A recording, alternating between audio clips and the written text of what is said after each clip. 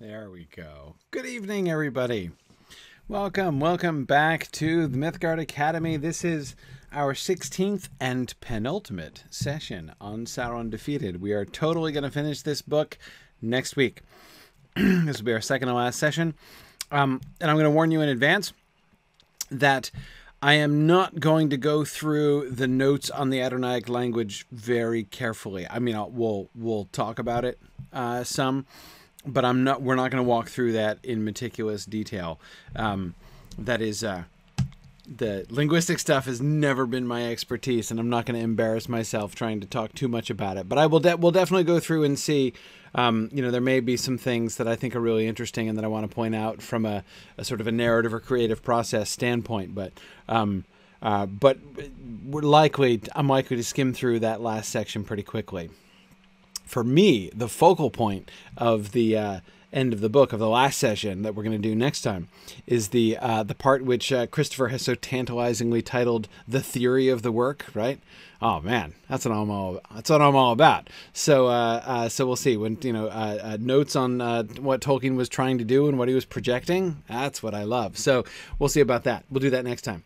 Anyway. Um, so uh, yeah, okay. So tonight uh, we're gonna go through. Um, mm, I'm gonna see if we can finish going through both the first two versions of the Drowning of Anadune, which I think is a really, really interesting uh, text. Um, there's so many ways in which uh, the Drowning of Anadune really seems to bring forward an entirely new I mean, I'm tempted to say something like an entirely new epoch in in Tolkien's creative thinking. And one of the things that I'm really kind of wondering now, um, I totally understand why Christopher Tolkien decided to separate this stuff out. Right? Remember, he, this is all happening. The Notion Club papers, the Drowning of Anadune, is all happening. Is all happening during one of the, um, uh, one of the. Uh, gaps in time, right? When he set the Lord of the Rings aside and didn't work on it for like over a year. Um, it would be really tempting um, to um, take to have read this stuff in the context of that, right? So for him to have interrupted the history of the Lord of the Rings to give us this stuff and then go back to the history of the Lord of the Rings at the end. Again, I totally understand why he didn't do that because the history of the Lord of the Rings is a sort of a separately packageable thing, right?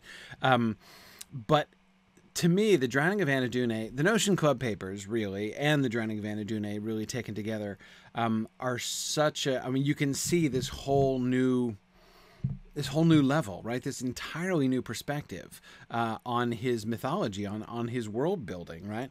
Um, and I would love to see a little bit more clearly to have uh, kind of processed that, right, in the context of um, the composition of the Lord of the Rings. How was the writing of the Lord of the Rings and the mo- the movement um, of the um, of the Lord of the, of the Lord of the Rings material and, and, and narrative. How was that influenced?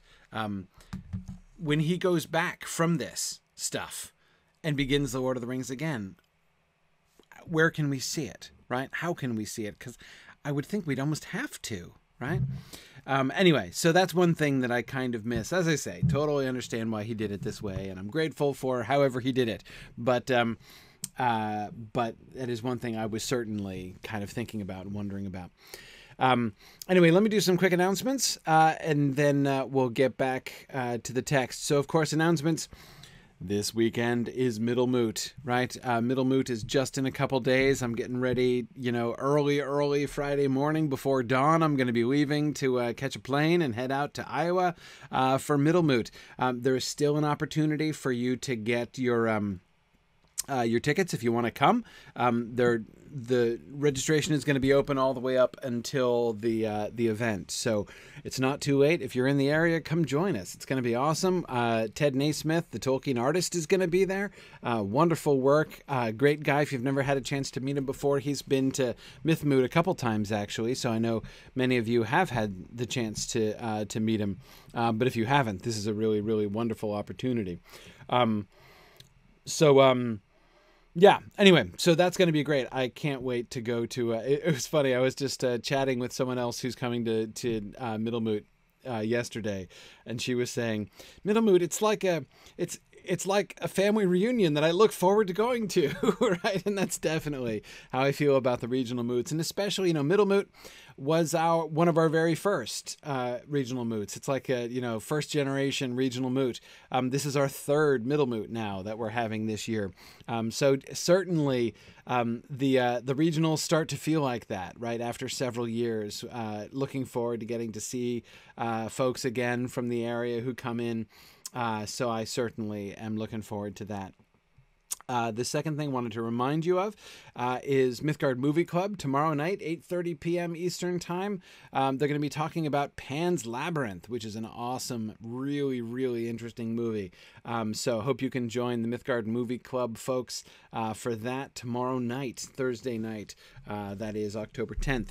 Um, and uh, uh, one Okay, two more things. Two more things. Uh, last thing. So I've been talking about Magnolia Moot down in Charlotte, which is uh, which was coming up soon we've had all manner of problems uh, getting our venue uh, organized and everything down there. We've had a number of delays and false starts there. Um, so we've actually decided to postpone that because we were getting like way, way too rushed and too last minute putting that together. And we want to make sure everybody has the opportunity not only to plan to come if you're, uh, you know, down there in the southeast, um, but also to be able to present if you're interested in presenting. So um, we're gonna um, we're gonna postpone uh, the uh, uh, the Magnolia Moot um, from. Uh, uh, so it's not going to be you know beginning of November, end of October. It's going to be April. Actually, we're going to push that forward to April. So it's going to it's a pretty significant shift. We're pushing it forward six months. Um, but again, I think it'll be much better. Um, if you're thinking about coming to Magnolia Moot, I'll give you a save the date. I think we're going to be looking at April 18th, Saturday, April 18th. Which is the Saturday after Easter. Um, so that's I think what we're going to be looking at for Magnolia Moot. Uh, hope uh, you guys will be able to. Uh, so again, and, and, we're pretty sure one of the one of the benefits of uh, uh, all the wrangling with ven- with venues that we've been doing is that we already you know we're in discussions with them, so it was pretty quick for us to settle on a date six months down the road and come in again, right? Uh, which is what we're going to do with Magnolia Moot. So that's been pushed off until uh, April. April 18th uh, is the probable date. So again, if you're in the southeast, I hope you'll be able to uh, to come to that. Um, uh, regional moots are wonderful. This is the second time we're doing Magnolia Moot, uh, and again, it's going to be in Charlotte, North Carolina, on the 18th of April. So I hope you can uh, you can join us there. And Baymoot is also coming up. This is our second annual Baymoot out in the San Francisco Bay Area, uh, and uh, that is we don't have uh, the registration isn't posted for that yet, but that's going to be uh, on November 23rd. So uh, coming up soon. All right, the last announcement, of course, is that we are still doing our fall fundraising campaign. If you haven't had the opportunity yet to make your tax deductible donation to Signum University, I really hope that you will consider uh, doing that. Um, we are uh, our goal for the annual fund this year is seventy thousand uh, dollars to to help Signum continue to move forward. Um, we have already raised $46,000 towards that $70,000 in gifts and pledges for the coming year. Um, so that is extremely exciting. We're, we're moving right along, uh, and I hope that you can help to help us uh, kind of push over the top there uh, in achieving our, our, our fundraising goals uh, so that we can continue to move forward. I don't know if you've had a chance, if you've all had a chance to uh, watch or listen to this uh, State of the University address that I gave on Monday, uh, two days ago. Uh, you can find it, especially those of you who go to Twitch, the easiest place to find it right now. Um, go to our Twitch channel, look at our videos, uh, our, the, the, videos on demand there, um, and you can see there's a there's a, a, permanent link to the to the um, state of the university there, um, and uh, that's where I revealed our plans for uh, Signum in the, over, over the next few years. Really, sort of the next step forward, the next generation of Signum, and how I see our our program gr- growing, and the way, the path that I see us following uh, in order to. Um, uh, to really make an impact uh, on uh, for people and on higher education. So uh, it was pretty pretty exciting time. We don't plan to dominate the entire world, Stephen. We're just trying to help as many people as we possibly can. Um, but uh, uh, yeah, Dominion. No, we're we're turning away from Dominion, right? uh, uh, Noli Episcopari for us, but uh, but but no, we are. Uh, it is really exciting, and I'm I'm uh, uh, very very eager to take our next steps forward, as I was describing in that. Anyway, all of these things are, are all made possible. Our existence, our continued existence, and our existence to this point um, has all been made possible by you guys and your generosity. So uh, I just I ask you again to consider doing that if you haven't. Setting up a monthly donation is really easy. Even a small monthly donation of just a few dollars a month, or you know ten dollars or fifteen a month, um, is really um, uh, very impactful over time. Um, uh, but of course, we take one-time donations there as well. Um, but um, anyway, so uh, uh, and the last thing I wanted to mention concerning the fundraiser, I talked about this before, but I wanted to ro- remind you if you have made a donation, we're going to do another drawing, an asynchronous drawing from our uh, uh, all of the people who have donated uh, to Signum and who are you know supporting the Mythgard Academy uh, specifically. So if you have made a donation, um, just all you have to do just send an email to donate at signumu.org and just mention that you would like to enter the drawing uh, for the mythgard academy because we are going to draw three names from the list of people uh, uh, donors who email us and let us know that they'd like to you know just just sort of mentioning the mythgard academy. Um, you know that you heard about this here and uh, we'll enter we'll enter you in that drawing. We'll, we'll draw three winners. The three winners will get um, uh, a choice of the courses that we have, so you get access to to one of our courses of your choice, and the grand prize winner will get that and will also get a special Mythgard Academy prize. And the Mythgard Academy grand prize is that you will get a free nomination. You can choose a book or you know a work of your choice to go straight into the um, finalist pool for our next election. Uh, so that's uh, uh, that's that's pretty cool. Like you, it doesn't automatically win, right? It still has to compete in the final election with everything else. But you get to to to bypass the first level of elections and just put it straight into the finalist pool. So, uh, so there you go. All right. Um, those are the reminders that I wanted to give you, and thank you again to everyone who has donated. As I say, it is just uh, it's a huge deal. It's a huge deal. All right. Um, I wanted to start tonight by making a confession. And that confession is as I was going through Christopher's notes to the drowning of Anadune, right? I often, um, when I'm reading through, the, uh, you know, uh, these volumes, you know, the history of the Lord of the Rings, I often don't. I mean, unless I'm like something is spe- specially piquing my curiosity, I don't usually read the end notes as I go. I, I usually just kind of run through them at the end. Um, sometimes I regret doing that, but usually I don't. Um, so you know, here I am reading the uh, the first two versions of the Drowning of Anadune, and then we get to the notes at the end and or rather the commentary at the end really is the the place that I'm talking about. And I'm reading Christopher's commentary at the end and I'm like okay. It seems to me like one of two things is happening, right? Either I'm going crazy or Christopher Tolkien is missing the absolute obvious, right? And I'm like and I'm like and I, I'm like I can't imagine that Christopher Tolkien hasn't noticed this, like hasn't observed this. Now, Aslan's compass, it is certainly possible that both could be true. I can't rule that out. Um, uh, anyway, let me let me show you what I an example of what I mean. So this is a commentary uh, on the the beginning of the first version of the Drowning of Anadune. The line that the note is for is some said that they were children of the Avaloi and did not die, referring of course to the elves. So in section 16, the Nimri are called without any qualification of, some said, the children of the deathless folk. Uh, cross reference the opening of the Quenta Silmarillion in Volume 5. And then here's the passage from the opening of the Quenta Silmarillion. Uh, this, is, this is the 1937 Quenta Silmarillion um, that we read in the Lost Road volume. These spirits the elves name the Valar, which is the powers, and men have often called them gods. Many lesser spirits of their own kind they brought in their train, both great and small, and some of these men have confused with the elves, but wrongly. For they were made before the world, whereas elves and men awoke first in the world after the coming of the Valar. Though not mentioned in this passage, the conception of the children of the Valar is frequently encountered in the Quenta Silmarillion, and cross-reference especially the later Annals of Valinor. With these great ones came many lesser spirits, beings of their own kind but of smaller might, and with them also were later numbered their children. Okay. So I'm reading these notes, right? And I'm just like getting more and more uncomfortable because uh, he's glossing this the passage in the text where the point of view of the narrative is that the elves are the children of the Valar, right? And I'm reading that, right? So without forgetting his note for a second, right? I'm just reading the text.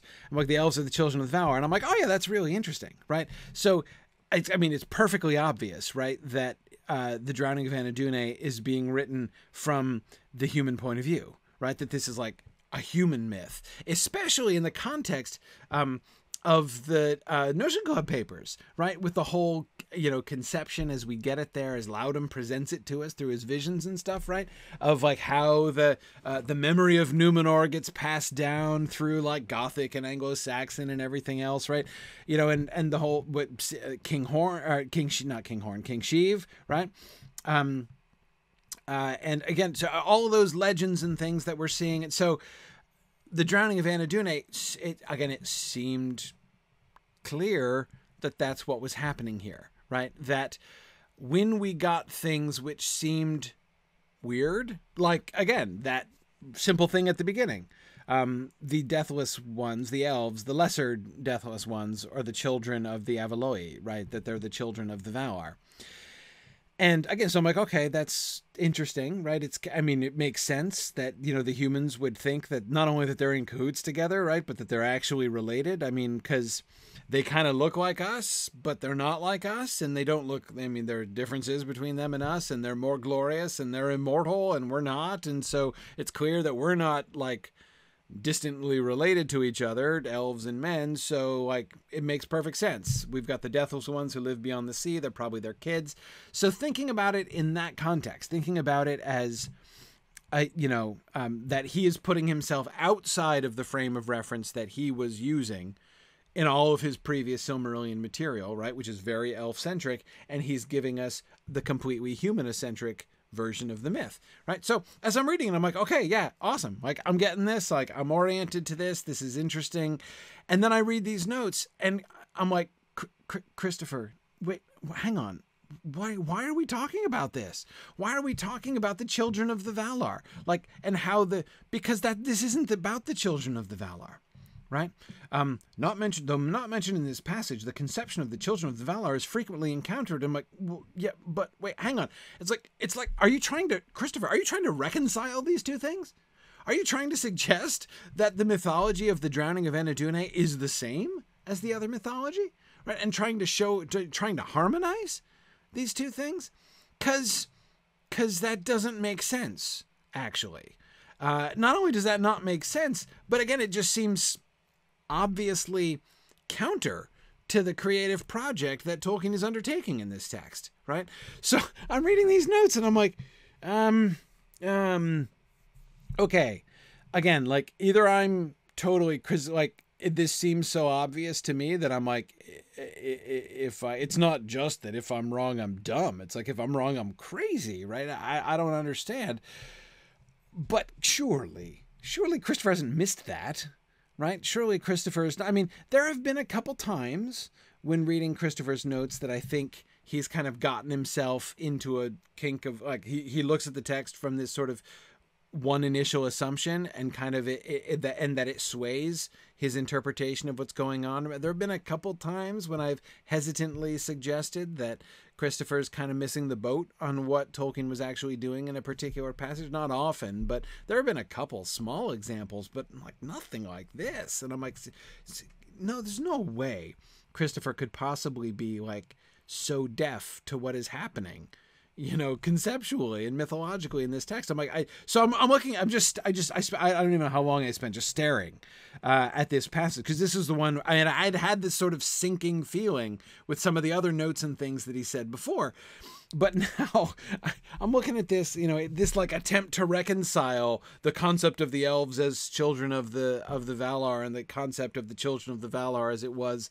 in the early Silmarillion tradition, and I'm like that can't be what he means, right? So it must be me, right? It must be me. I must, am I wrong? I'm like, I can't be wrong. Not that I can't in general be wrong, but I'm like, I'm surely not wrong about this, right? I mean, that's, that's not that. Anyway, so I was like having an issue, right? I was having a bit of a crisis. And, um, in the end, I finally came on a third reading, which put my mind at ease, right, and kind of restored reality to its its normal orientation. Um, and my third reading is that neither. So so the answer was not both. Aslan's compass. It was neither. Uh, neither am I crazy, nor is Christopher Tolkien missing the boat. Um, I think that the actual solution to this riddle is that Christopher is being coy. Um, he's um, well, I don't want to say having us on. Uh, he's not like pulling a prank on us or anything nearly so puerile as that. However, um, uh, when he uh, uh, when he he does, of course, get there uh, in the end, spoiler alert: Christopher is going to uh, is going to announce that like his reading of the text is that this is like a you know a fundamentally different point of view on the same myths, like basically the thing that we've been talking about all along. Um, where the gap comes, like where the problem emerges, is not that he didn't tumble to that, right? It's not that he is oblivious to that. It's that he presents this as if it's um I don't know, it, like Christopher kind of holds it back and he gives his notes at first as if like our job as readers is to reconcile this material. Like this is not just this is not a new angle. This is like a new version, right? And we're supposed to um um we're supposed to we're supposed to so figure out how these go and this we're supposed to take this as like this is Tolkien revising his ideas right like seriously I'm seriously supposed to be entertaining the idea that he's now being like yeah actually the elves are the kids of the Valar turns out yeah yeah that's actually how it works right and I'm like really no I'm not. No, that's not what's happening here. I refuse to believe that. But anyway, Christopher's kind of letting us think that, and then he's gonna kind of pull the the rabbit out of the hat later on, and we'll see it in his commentary on the theory of the work stuff next time. We'll see the moment when Christo is, is kind of a spoiler, but the I felt it worth spoiling because again for me it made a massive difference. I was super uncomfortable reading Christopher's commentary because I'm like I I can't even understand how this is happening. but um when I see what he was doing, he was kind of leaving that in the air, right? He was kind of like approaching it first as if our job is to reconcile the two of them, right? Observing the differences and and keep and continually saying things like this very remarkable text, right? And uh, these uh, uh, quite pronounced departures uh, and things like that. Um, and then he comes to the end and he's like, and now I shall unveil my super secret reading of the whole thing. Ta da! It was from the human perspective all along, and they're getting it wrong. And I'm like, yeah, okay, that's kind of what I thought the whole time. And I, am only now seeing that you agree with me. Phew. Okay, that's all fine. Um, but um, yeah. So uh, um, it's um, I was as I say, super relieved. Um, so just in case anybody else was having any similar version of that particular crisis as you were reading through Christopher's notes, I just kind of wanted to share that. Perhaps uh, none of you were so troubled as I was, but uh, I, I, I, I definitely had a moment.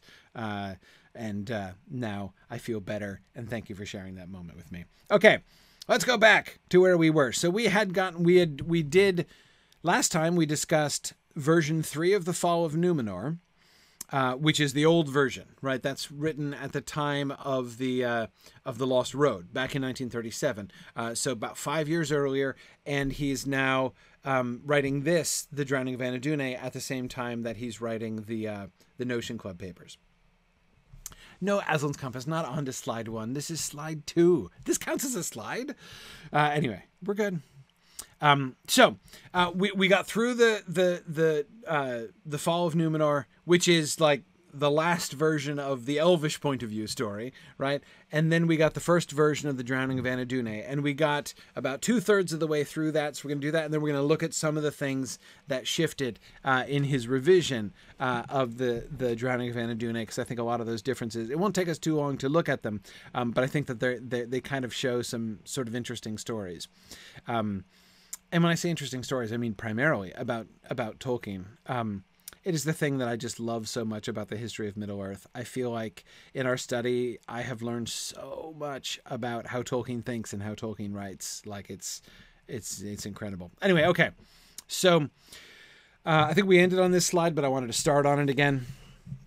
For why should the Avalai sit in peace unending there, said they, while we must die and go we know not whither, leaving our own home, for the fault was not ours in the beginning. And is not the evil is not the author of evil Melico himself, one of the Avalai? And the Avalai, knowing what was said, and seeing the cloud of evil grow, were grieved, and they came less often to Numenor. And those that came spoke earnestly to the Eruhil, and tried to teach them of the fashion and fate of the world, saying that the world was round, and that if they sailed into the utmost west, yet would they but come back again to the east, so and so to the places of their setting out, and the world would seem to them but a prison. Um, so, uh, okay, several things here. So remember, in the first version of the Drowning of Anadune, uh, the human perspective from which the story is written doesn't even understand that there's a difference, right? The Avalai means collectively the elves plus the Valar, right? Everybody who's immortal is in that category. Um, you know, like the the the, the drowning of Anadune explains the entire thing uh, as us and them, right? Um, yeah. Now, uh, Estel Aragon, great question. Um, uh, are the names like Meleko and Avalai and also Manawë? I would say same thing. Um, are they uh, uh, are they a Dunaya sized version uh, versions of the Elvish, uh, or just a different stage in the development of his Elvish names? Not develop. Uh, they are they are versions uh, of the Elvish. They are meant to be versions of the Elvish, but keep your eye on that as we move into the second version. That's to me one of the very first immediate tip offs of what's different uh, the second time round. Um, okay, so uh, so again, the uh, the Avalai are everybody, all the immortal folks, and we humans can't even really tell the difference between them, right? So you can see how on the like there are times when they seem to be uh, arguing against the Valar, essentially, right? And there are other times when it's clearly the elves that we're discussing. Um, so the boundaries are really unclear. Um, thinking back, though, for a second to um, to this question of reconciling the drowning of Anadune or comparing and contrasting, right? The drowning of Anadune with uh, the fall of Numenor. That is the old elvish perspective one and the new human point of view one. Um, there are differences, obviously, mad, major differences between the two of them. And so, one of the really interesting questions for us to try to figure out is when we see differences, to what do we attribute those differences?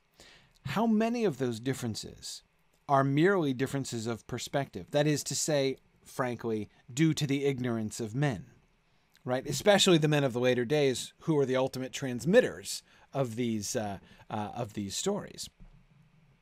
Um, so again, like I, me, I totally put the whole like the elves are the like the elves and the Valar are all one people, right? I don't think he's actually saying. Actually, I think I'm just going to merge the Valar and the elves into one hemer, you know, homogeneous group. I don't think that's how Tolkien's mythology is developing at this particular moment, right? But there are other moments where there are changes, right, from the fall of Numenor to the drowning of Anadune, where it does seem that Tolkien's mythology is, in fact, changing, right? Um, so trying to distinguish between those two things, right, um, is complicated on the one hand, um, uh, but really, um, really challenging, actually. Uh, and um, so, for me, this this is the reason I wanted to start on this slide again, that we ended with it last time, is that to me this is one of the clearest illustrations of that. Right, in the first half of the slide, we can see the confusion which seems to be endemic here. Right, that is to clumsily use a word for it, the theological confusion. Right, they don't understand, um, like they don't have our i mean i guess actually we're going to say theology. Thinking in medieval terms it would be more like angelology than it would be like theology. But anyway um they don't know enough about who the valar are to know the distinction between the between the valar and the elves.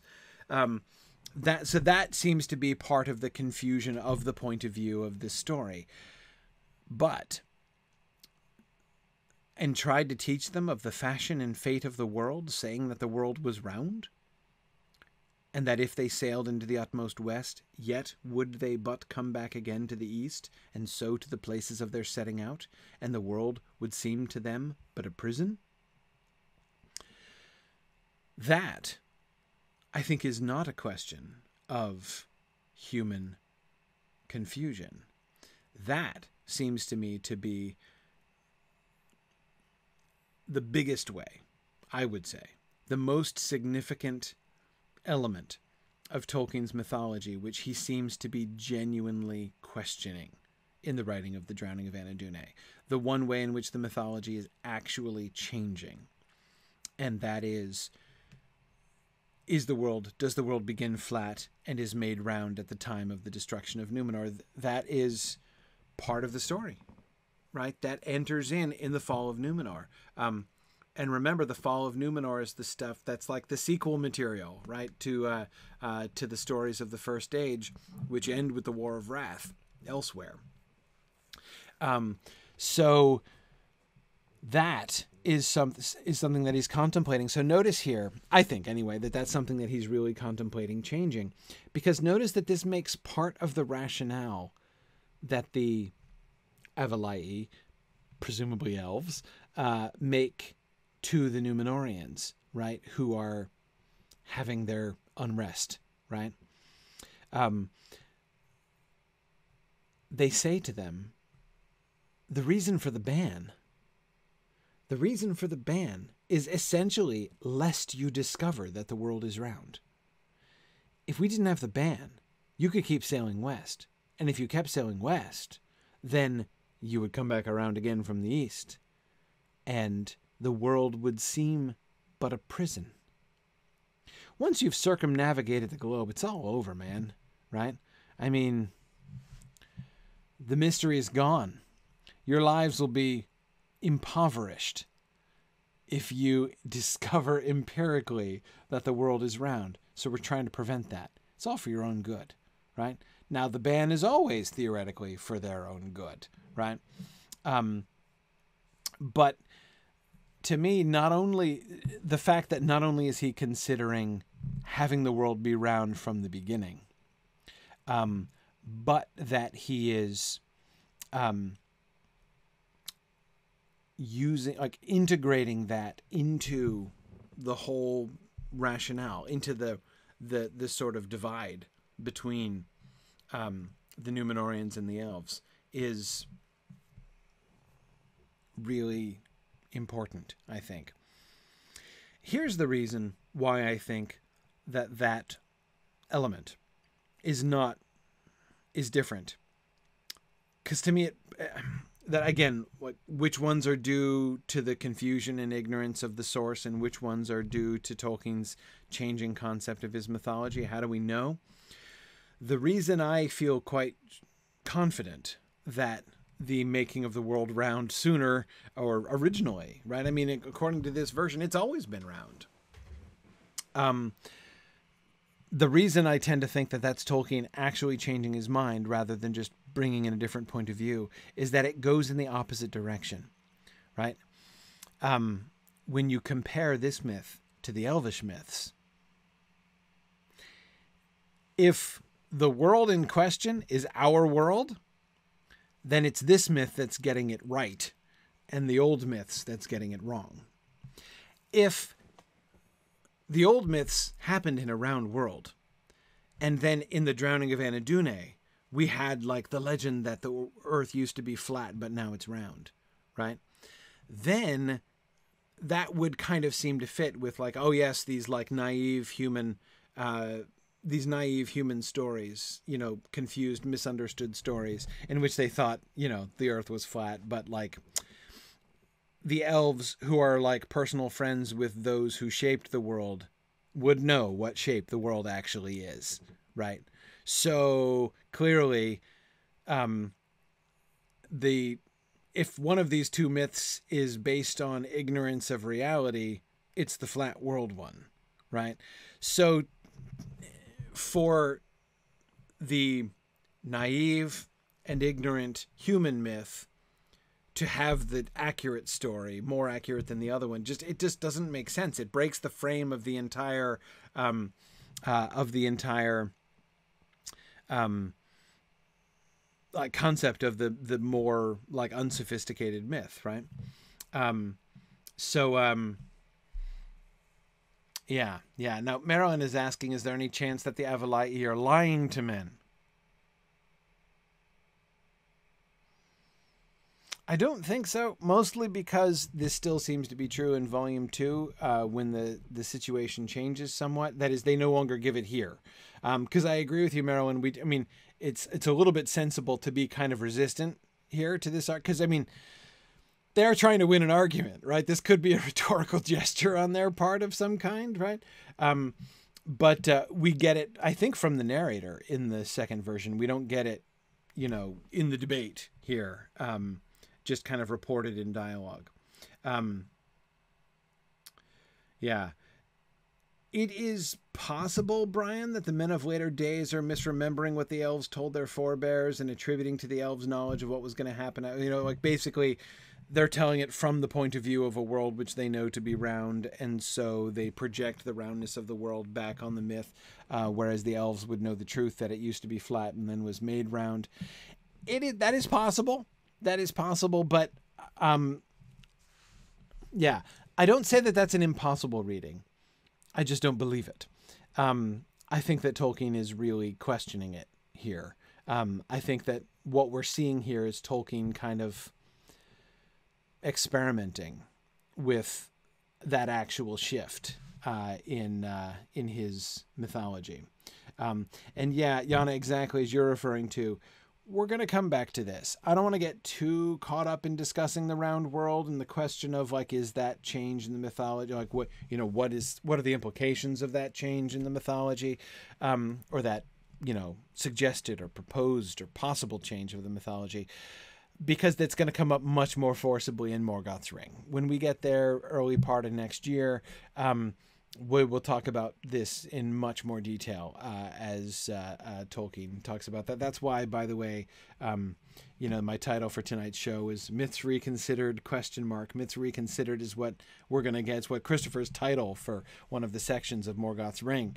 Um, so you know, I'm uh, kind of playing on that and saying, are we, uh, um, are we seeing that the beginnings of that happening here? Uh, a full discussion of that to come later, but um, uh, but I think it's interesting. Then, of course, he kind of double down, doubles down on it um, with Sauron.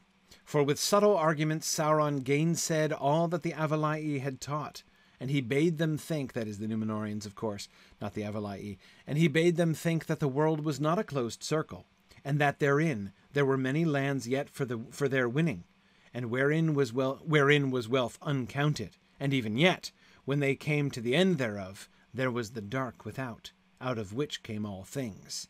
and dark is the realm of the Lord of all, Meleko the Great, who made this world out of the primeval darkness, and only darkness is truly holy, said he. So, so, um, the flat world concept is now a lie of Sauron, right? Um, this is uh, remarkable. So no, this is these are Numenorians. These are Numenorians that he's talking to here. Yep, Tomas, that's what's happening. Um, so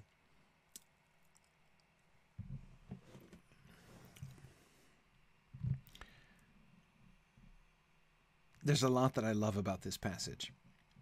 Um, notice the grounds of Sauron's claim that the world is flat. Why does Sauron support a flat Earth cosmology? He supports a flat Earth cosmology because. So, like, think about these last two passages. The first one, the Avaloi say, if you discover that the world is round, we like basically we're worried that your discontent is going to grow, right? You're you're going to feel like the world is a prison for you. And now Sauron is saying, no, the world isn't round. That's a dirty lie, right? The world is flat, and it extends out, and there's it is there is so much more for you to discover, right? many lands yet for your winning, wherein is wealth uncounted. Right? So, no, the world isn't a small and narrow place, right? It's not a little prison globe, right? It is vast. It is flat, but it is vast, right?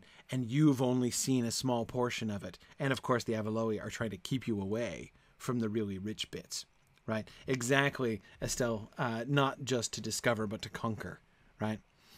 And then, but wait a second, hang on a flat earth still has an edge, right? So does it just boil down to him saying, well, uh, it's bigger, right?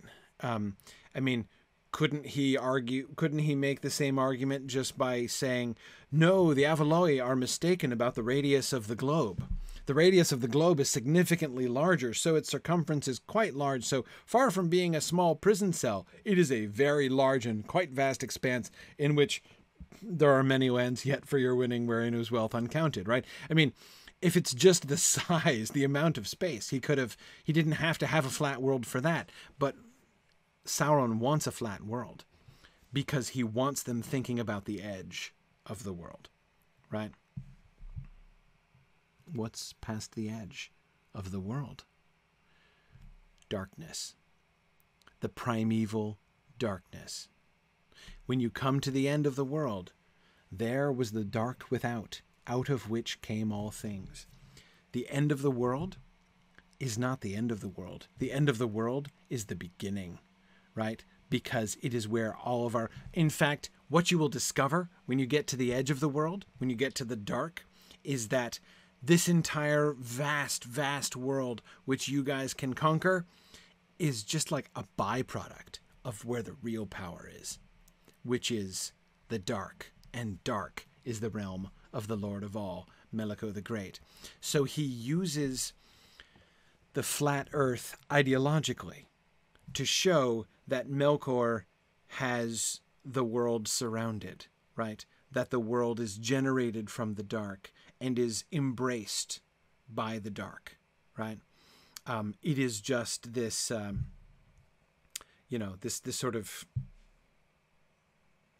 plane, this this this this this pan held by the darkness, right, into which the darkness feeds things. Um, but the darkness is really the source of all. Yeah, Devor, it reminds me of Gollum's darkness riddle too. Absolutely. Um, yeah, yeah. Um, Yana says this this prison planet idea sounds like every flat earther ever. Tolkien was ahead of his time. Yeah, yeah. Um, yeah.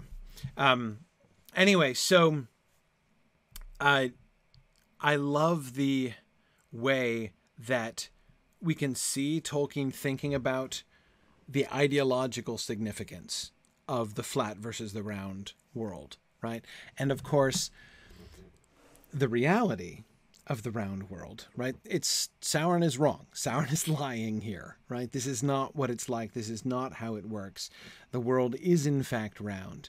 And from a human point of view, the world is in fact small. Because, of course, at the end of the day, it's not about geography right? It's about time. It's about their lives. They it doesn't matter how big the world is in a sense, right? You're only going to live for a few decades, a couple centuries at the late, you know, a few centuries at the most if you're, you know, of the royal house of Numenor. Um, and then you're gone, right? So, you know, there's only so much you can do. In fact, the the reality of the situation is that a small life you know, a small bit of experience, uh, a, a, a, what seems like a meager portion has been given to humanity, and their challenge is to be content with that. And of course, Sauron, you can see in his temptation, is deliberately arguing against contentment, right? First, vast uh, flatland yet to be discovered. Second, the darkness beyond that, right? Not just so it's not just moving past, it's moving up, right? Hierarchically moving up. Once you've conquered all the space that there is, then you can get to where the space came from, right? Then you can encounter the reality behind reality, right? Um, uh, the the darkness. Um, so um, yeah. Now, Kit, there I completely agree with you. If finding out the world is round will make them discontented, why tell them? I agree, Kit. I find in retrospect after this passage, I find the elves argue or the Avaloi's argument, excuse me, um, really unsatisfactory, right? Because on the one hand, it's like okay, I I guess I can understand. I mean, they were right to think that if the I mean, I'm, I'm sure they were right that if the Numenorians had circumnavigated the globe, they would have been discontented by that. But why point it out, right? If you're going to do the ban, then like it just it seems strange, right? It seems strange like we're trying to keep you in ignorance cuz if you knew your real situation, you would be upset.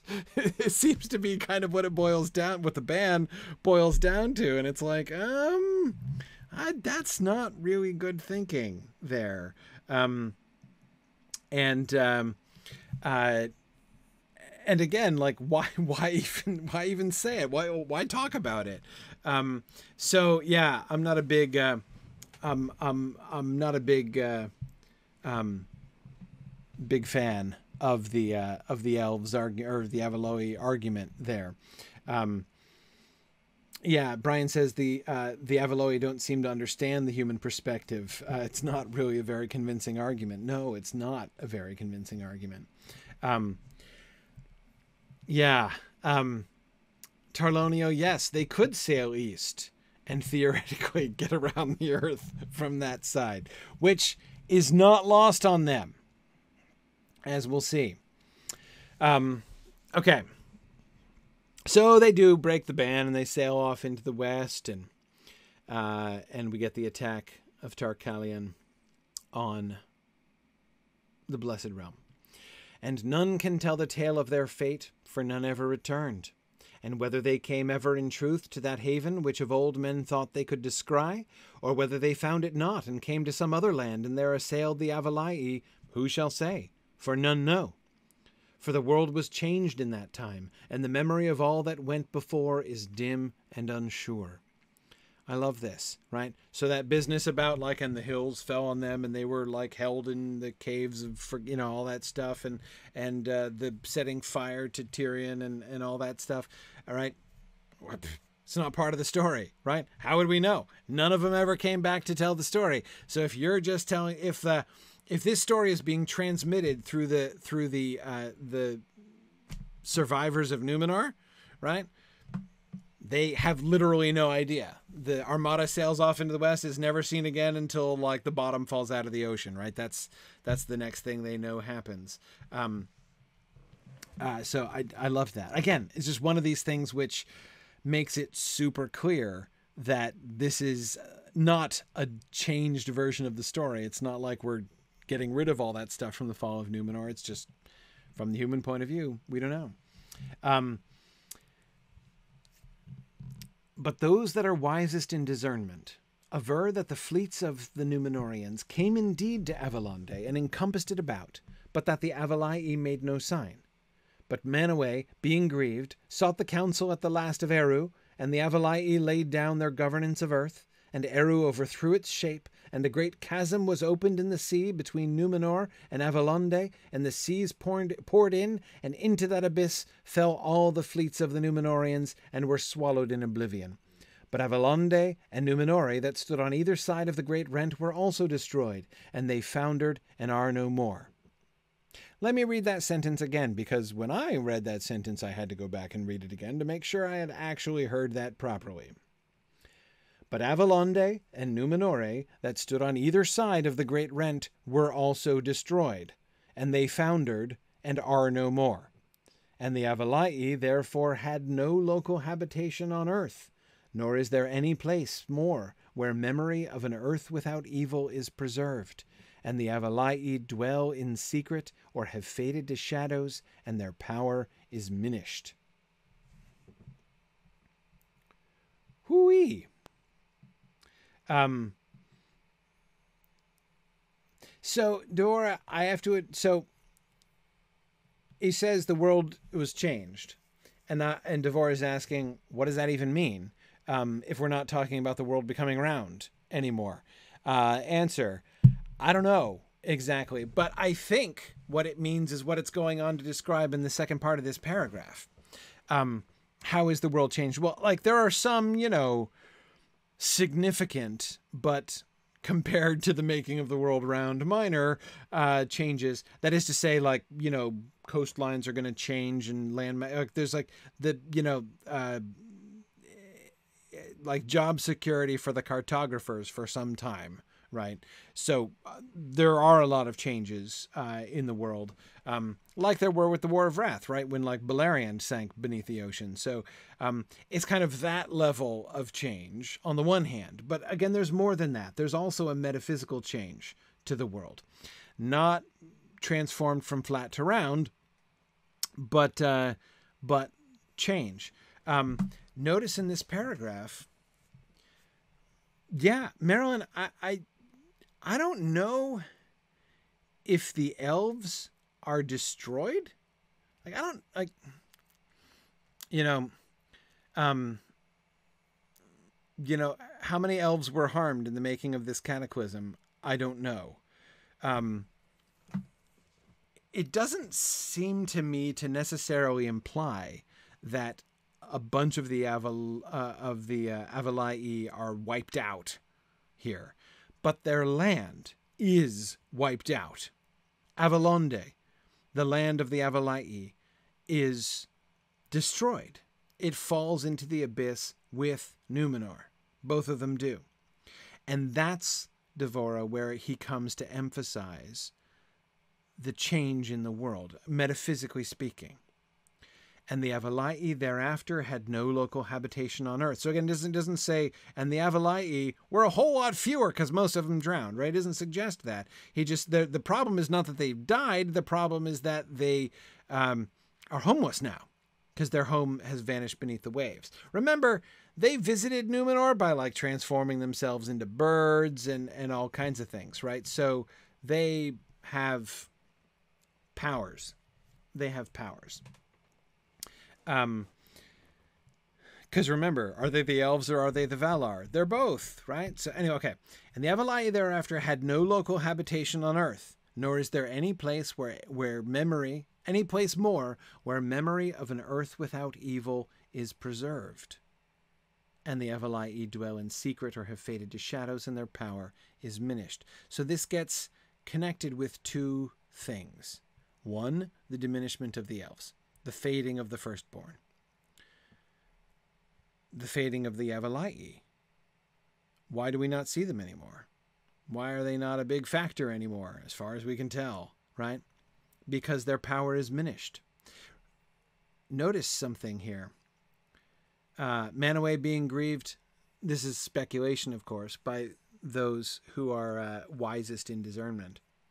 Um, Manawë, being grieved, sought the counsel at last of Eru, and the Avalai laid down their governance of the earth and never took it back up again. Right? They've they're done. The Avalai are done. The Valar slash elves, Valar plus elves, right? They give up their rule and they go into retirement and their power is diminished and they dwell in secret or have faded to shadows and nor is there any place more where memory of an earth without evil is preserved. That would be a shift indeed, right? Um, so, yeah, yeah. Um,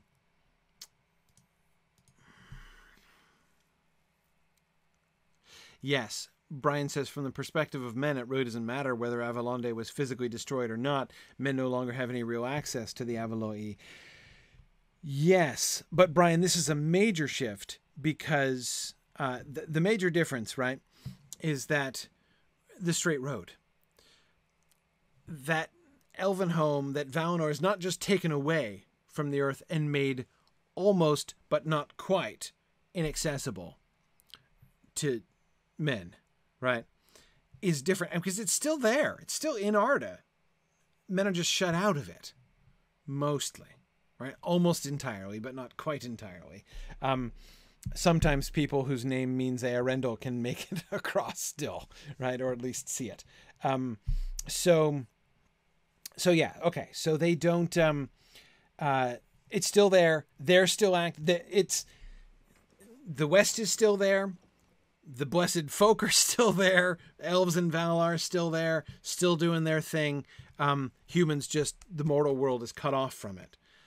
But there is still an umbilical cord that connects it, the straight road, right, the straight path that connects it to uh, uh, to our world. In this version, no, it's gone, gone, and the Avalai themselves fade, fade and go away, um, and retire for good from the act of. So conceptually, metaphysically, I think there's a massive difference between this and that other concept there. Um, now, absolutely, Brian. Absolutely, this could be the ignorance of men. No, I remember that's my premise from the beginning. That's my premise. Which, when Christopher seemed to be not going along with that premise, was making me feel like I was going crazy. Absolutely, I'm not saying that's what's actually happening. I'm just saying that's the mannish version of that that we're getting in this in this story, which makes this story quite remarkable, right? Um, and what this is like to me, remember how earlier in the Drowning of Anadune, um, when the the narrator openly questioned the War of Wrath, right? The you know then the Avaloi came over and they worked with the Eruhin and like the they got together and they th- overthrew Melkor, which seemed cool, but he just kind of ran off. Um, clearly, his power was not broken right? So they they're having no truck with the concept that Melkor was chained up and cast out.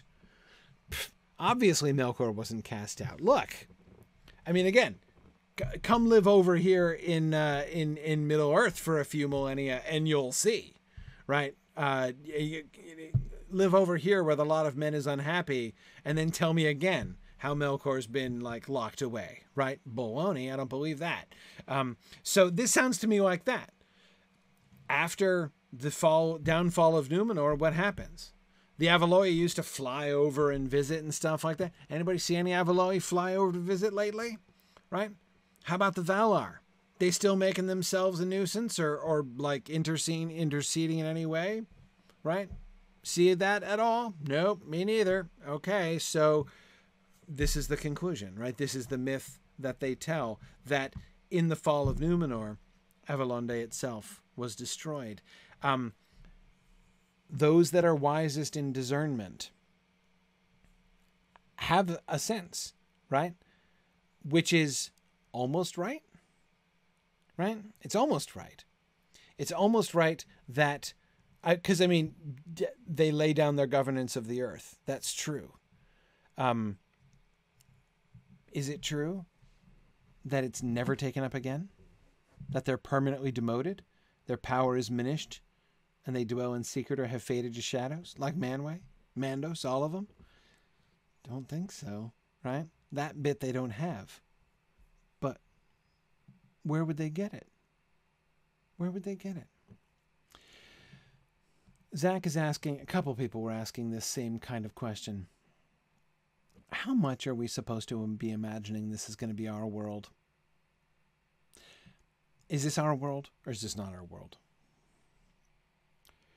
Um, so we're going to talk about that a lot. Um, all I can say is going on what we have in the Silmarillion tradition, this is totally our world, right? Tolkien's entire mythological concept begins with our world.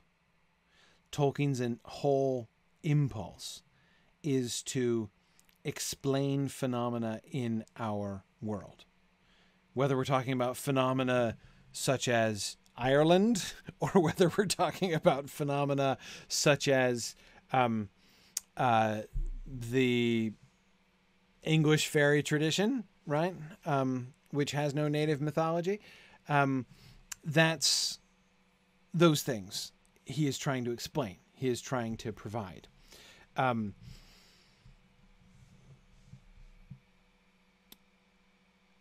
therefore, I think presumptively we have to think this is our world. Sort of. But do we have to? Do we really have to? Can we not? Could we? Wouldn't it be kind of fun, more fun if we didn't? These are questions I'll be asking later on. Uh, we're we're we're we'll talk about this when we get to Morgoth's Ring. Um. Yeah. Um. Yeah, Stephen says, would there be a need for the world to be round if it weren't our world? Yeah, exactly, Stephen. Um, I think that we do see exactly the ins- the the insistence, and I think I have to say increased insistence on the rondure of the world, right? Um, so tells me that we're still there, where we were in the Book of Lost Tales, right? That Tolkien has not imaginatively separated his the world of his mythology from our world. Um, that's not to say that it's our world in a kind of a simple sense, um, like he believes this to be the actual word by you know, honest to God history of our world, right? Exactly. Um, I mean, these are myths, not history precisely, but still, conceptually, yeah, yeah, it's still tied to our world. Um, all right, let's keep going. We're almost to the end of the first version there. Here's the attitude of the exiles. And though they knew that Numenor and Avallondë were no more, they said, Avallondë is no more, and Numenor is not. Yet they were, and not in this present darkness. Yet they were, and therefore still are, in true being and in the whole shape of the world. And the Numenorians held that men so blessed might look upon other times than those of their body's life, and they longed ever to escape from the darkness of exile and see in some fashion the light that was of old. But all the ways are now crooked, they say, that once were straight. All the ways are now crooked that once were straight. Remember how that differs from that repeated, repeated phrase that Lowdham kept coming across, right? Um, that there is a straight path, right? Um, there's no sense of a straight path, but you can, but it's okay because you can still time travel like Ramer, right?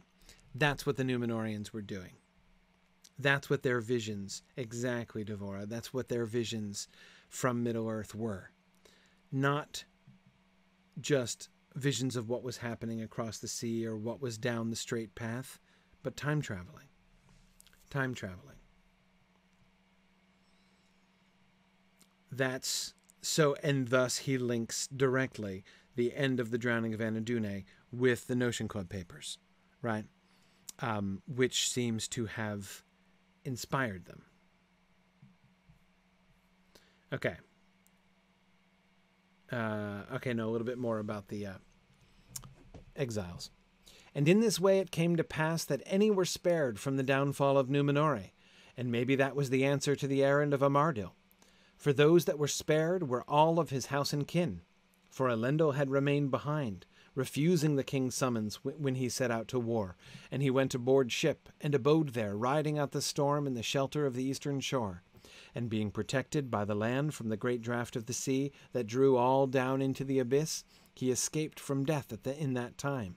And a mighty wind arose, such as had not been before, and it came out of the west, and it blew the sea into great hills, and fleeing before it, Elendil and his sons in seven ships were carried far away, borne up on the crests of great waves, like mountains of Middle Earth, and they were cast at length up far inland in Middle Earth.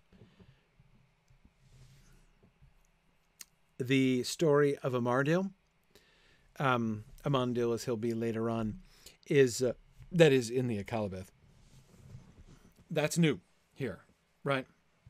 This concept of a uh, the dude who broke the ban, right? The um, the holy man who broke the ban uh, in order to, uh, with the goal of intervening for his people one more time, like a, like Eärendil of old.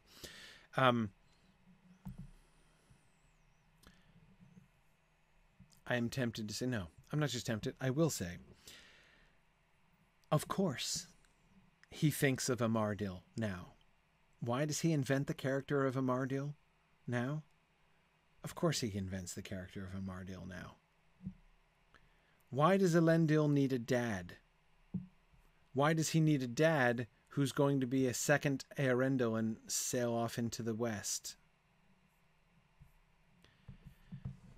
Because that's the Notion Club papers pattern, right? And the Lost Road pattern. The father and son pairings, right? From the Lost Road concept through to the more mature Notion Club papers concept, it was always going to be in those pairings, right? We kept seeing those father son pairings. And we can see it's still active in the Notion Club papers, just as Arry Lowdham, right, has his dad who sailed off in his ship, the Eärendil, right?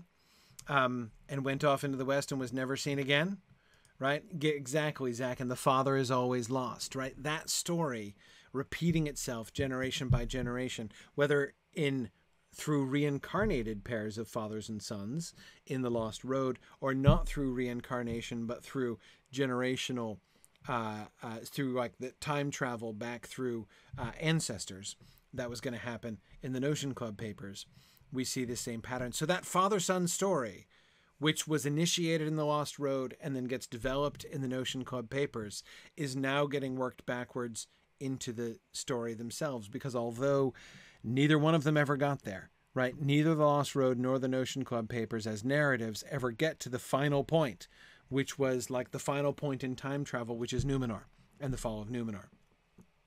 Neither of them ever got there, but both of them saw it coming.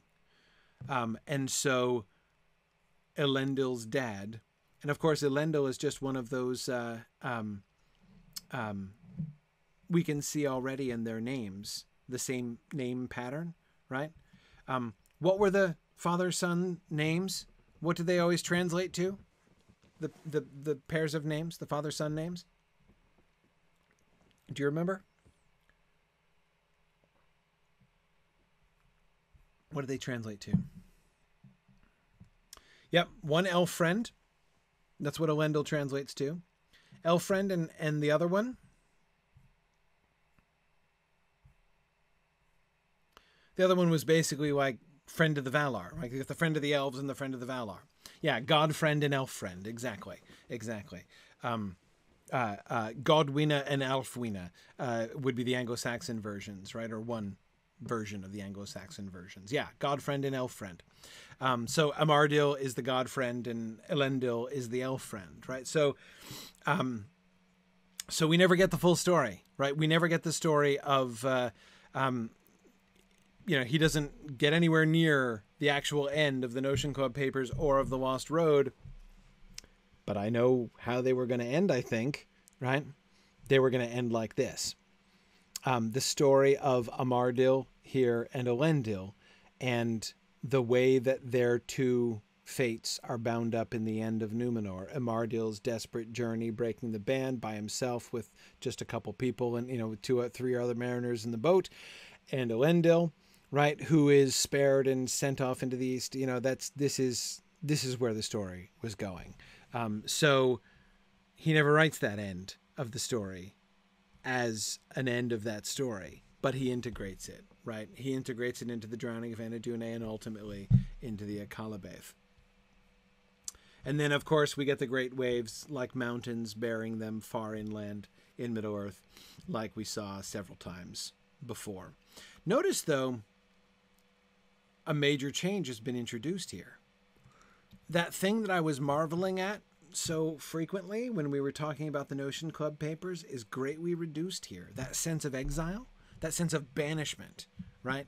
That those who survive from Numenor and are carried on the wicked waves to Middle Earth um, are not just um, are not just refugees. They're exiles. Specifically, they have been banished. They're like Adam and Eve, kicked out of the garden, right? Um, and that's lessened here. Here it is, and it's Amandil who makes the difference. Sorry, Amardil who makes the difference here, right? Um, it is possibly in response to his plea that his son Elendil and their people are preserved, are saved. This is more of a deliverance now, and that's not to say that that sense of the exile stuff isn't still relevant, right? Um, and I think it does help to under to help us to understand how they talk and the kinds of traditions that come from them, right? It's clear that uh, that Elendil still feels like an exile when he gets to Middle Earth, but in the narrative itself, that is much less unequivocal, or rather, it's much more equivocal, right? Um, and we can we see more of that element of deliverance, which I had confessed before I had always seen as the primary element uh, of their story. Okay. All right, second version through. Going to try to be a little quicker on the second version through uh, because there are only a few. It's quite similar, but there are some interesting touches. So, uh, Estel Aragorn, here we're getting around to what you were talking about before.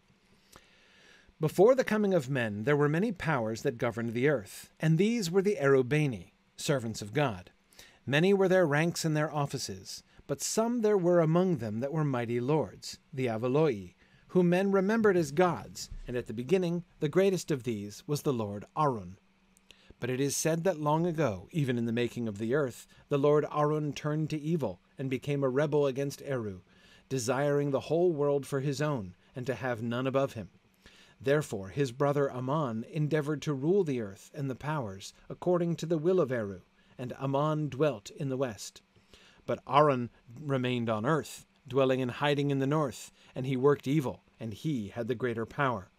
And the earth was darkened in that time, so that to Arun a new name was given, and he was called Mulkhêr, the Lord of Darkness.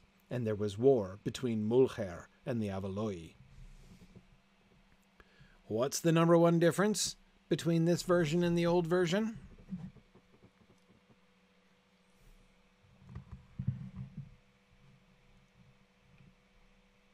Yes, it's all about the names, right? The old versions of the names, Estel Aragorn, as you were saying before, right? Um, there's um, there's they were they were still clearly adaptations of the Elvish names, right? Melkor and Manawë. So it seemed to be adapted to like the pronunciation rhythm of Adunaic, right? Um, but uh, not really translated. Just kind of messed up a little bit. Like they didn't quite get the names right. They heard the correct names, but they didn't quite get them right. Um, now they have completely different names Arun and Aman and Mulkhêr. Why do you think?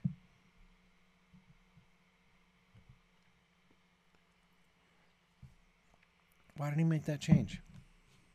What led Tolkien, you think, perhaps, to make that change?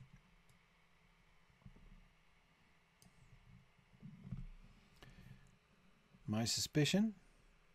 Because he developed the language in the meantime, right?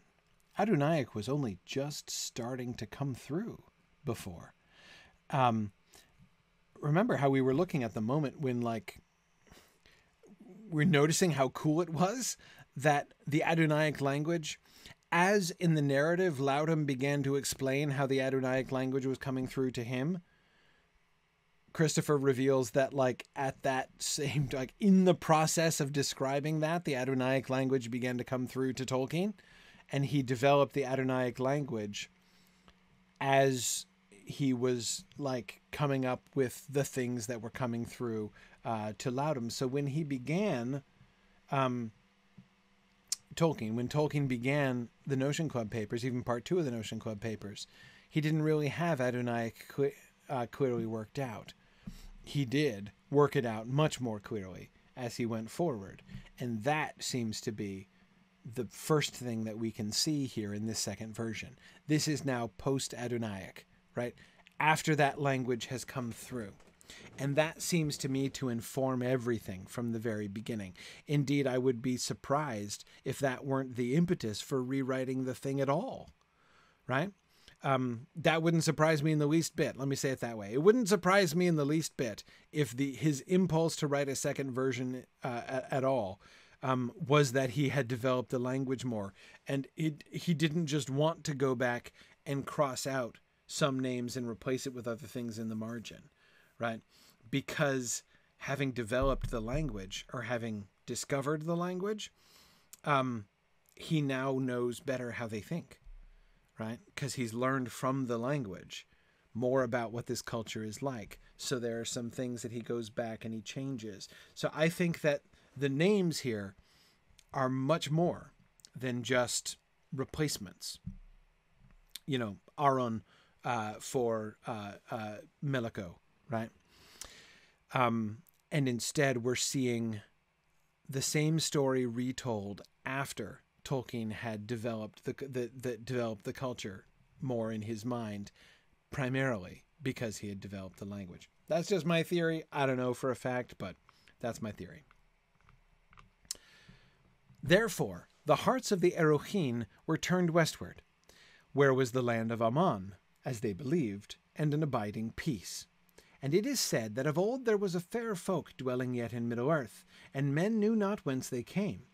But some said that they were the children of the Avaloi that did not die, for their home was in the blessed realm far away, whither they still might go, and whence they came, working the will of Aman in all the lesser deeds and labors of the world. The, Elad- the Eladai they were named in their own tongue of old, but by the Eruhin they were called Nimri, the shining ones for they were exceeding fair to look upon, and fair were all the works of their tongues and hands. And the Nimri became sorrowful in the darkness of the days, and withdrew ever westward, and never again was grass so green, nor flower so fair, no, nor water so filled with light, when they had gone. And the Eruhin for the most part followed them, though some there were that remained in the great lands, free men, serving no evil lord, and they were shepherds, and dwelt far from the towers and cities of the kings. Okay, so we got the beginning now. So, what is the what? What are some of the cultural shifts that we're getting? Well, remember when the Adunaic language came through, what came through with it? When Lowdham was describing that, Remember when Lowdham was describing the languages coming through and he got all these bunches of words and he put them into different lists, right? There was the Anglo Saxon words, which got into their own special list of Anglo Saxon words they already knew. And then he put the other the other into three lists the A list, the B list, and the C list. And the A list was Quenya, and the B list was Adunaic, and the C list was other things, right? Um, and um, okay, so that's how it came through to Lowdham and remember what Lowdham did with that. Right? As Lowdham started to get these languages, he began to figure out what was the culture of Numenor like. because and he was like so they clearly they speak Quenya and they speak Adunaic right and they um, or you know they speak Avalonian and they speak Numenorian um, and uh, but because it's they're clearly two different like two words in like in this in those two languages for the same things at the same places right? Things will have two names one in one in Quenya and one in Adunaic and from that he begins to draw conclusions about what the culture of Numenor is like right? So having had that imaginative process through Lowdham, and again, I suspect in, in some ways through his own language invention process as well, um, notice the first big change that emerges in the drowning of Anadunai as a consequence, right? And the first, the, and that change is we're not going to confuse the elves and the Valar. That, that wouldn't have happened because the Numenorians would know full well. The Numenorians knew the elves, had close relationships with the elves, and so might not know everything about Valinor and how it ticks, but they would certainly be able to tell the difference between a, a Vala and an elf, right? So, but how do we know that? How do we know about that cultural shift? How can we be so sure? that they would not just lump elves and Valar all into one big category of immortal people because of the languages, right? Because of Quenya and Adunaic side by side, right? Which notice was already there in the first version. What was the name of the king? Tar-Calion, right? A Quenya word, a Quenya name, right? Uh, uh, Manawë, Meleko, they clearly knew Quenya names, right? um, which they kind of did in their own their own versions of, right? But but they clearly had heard the Quenya names and remembered uh, uh, remembered something like it, right? So even in the old one, we can see they have familiarity with Quenya, and once he clarifies that even more, he realizes, yeah, no, no, that's that's that that won't work. That won't work at all. They know who the Eladai are, and the difference between the Eladai and the Avaloi. Um, and so we get that distinction made. And as I say, I really think that that is an offspring of this linguistic development that is the primary, um, uh, in my theory, motive force uh, of this second version. And it was at the time of evening that Azrabel set forth. Azrabel, of course, is Eärendil, um, but nobody is given Quenya names in this version of the story, right? It's all Adunaic all the time in this version. Once again, solidifying that this is obviously and totally a human point of view story, right? Uh, making no compromise with the elvish versions of the story, not even using their names. And it was at the time of evening that Azrabel set forth, and he sailed into the setting sun and passed out of the sight of men. But the winds bore him over the waves, and the Nimri guided him, and he went through the through the seas of sunlight and through the seas of shadow, and he came at last to the blessed realm and the land of Aman, and spoke unto the Avaloi. But Aman said that Eru had forbidden the Avaloi to make war again by force upon the kingdoms of Mulkhêr, for the earth was now in the hands of men to make or to mar. Yet it was permitted to him, because of their fidelity and the repentance of their fathers, to give to the Eruhine a land to dwell in if they would. And that land was a mighty island in the midst of the sea, upon which no foot had yet been set. But Amon would not permit Azrabel to return again among men, since he had walked in the blessed realm where yet no death had come. Therefore he took the ship Rothinzil, and filled it with a silver flame, and raised it above the world to sail in the sky, a marvel to behold. Notice, um, yeah. Oh, Marilyn says, why has the place and the ruler the same name? Um, they don't yet. Um, Christopher suggests in his notes that the name Aman for Valinor derives from this that Aman was first the Adunaic name of, of Manwë and then becomes the name of the country. Um, when he says the land of Aman, he's not referring to the name of the country. He's like the land of Aman, like you know the land where Aman rules, Manwë, the land of Manwë, you know where he's king. Um, so yeah, no, it's not the name of the land. It's just the name of the dude, which is going to become the name of the land. But anyway, um, great question. I was confused by that too. Um, okay. I think I skipped over this bit, or I, I, I definitely don't feel like I did justice to this when we got to this part of the first version of the story. Like, I think I totally skimmed over the totally mind blowing thing about the Eärendil, excuse me, the Azrabel story uh, in The Drowning of Anadune. What is it? The mind blowing thing? I mean, everybody loves them some Eärendil, right? In the elf version, he's the big hero the turning point, the prophesied one, uh, uh, who fulfills the prophecy to uh, uh of of of of Huor, right, uh, and everything else. And uh, and and in the Drowning of Anadune, we love Eärendil, right? He's the big, pivotal, enormous hero.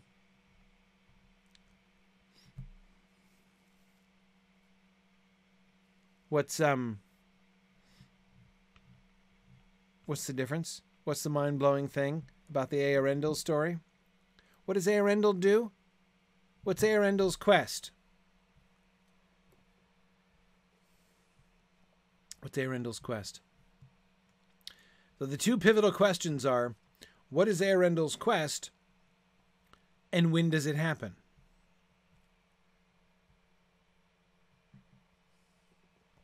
His quest is to get help. For whom?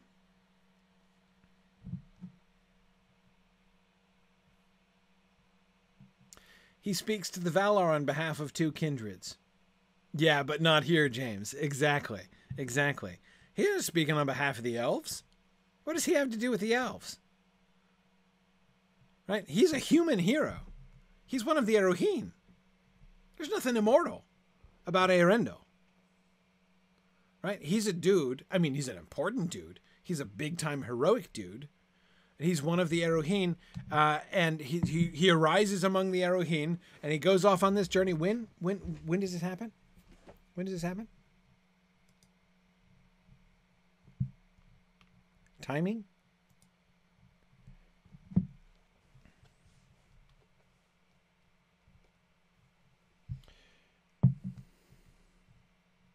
In the evening. Yeah, at sunset. That's correct answer.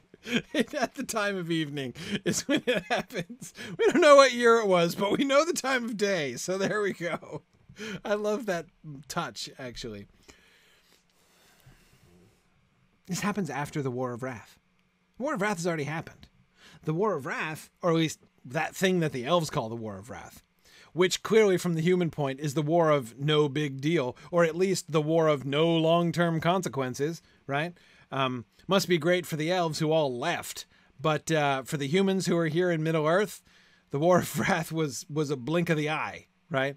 Um, uh, yeah. So anyway, that's already happened. You know, uh, uh, uh, uh, Mulkhêr has been overthrown right up in the north, uh, but he's gone into hiding and he's still doing his thing. So it's long after that when one arises among the Eruhin who goes off and he talks to Aman and gets his ship benevolently set on fire, presumably benevolently, benevolently, and raised above the world to sail in the sky, a marvel to behold, which is a sign to the people that they should go. So Numenor is the only result of Eärendil's mission.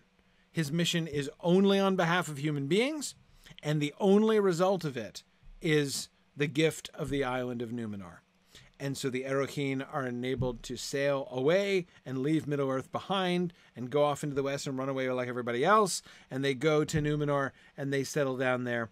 Um, uh, and it's all thanks to Eärendil, who's still up in the sky, and you can see his star. That's why he's the brightest of stars, right? And why we say Hail Eärendil. Um, no Silmaril, yeah, whatever. What what's what's that even, right? I don't even know. Um, yeah, so so great question, Yana. So okay, is this one of those things that's a distortion of history by the ignorant myth writer uh, among the humans? or you know a failure of transmission down the road, or is Tolkien rewriting the Eärendil story? My answer is the former here. unlike the round earth, which seems to me to point to an actual developing change in Tolkien's mind, this does not seem like a change.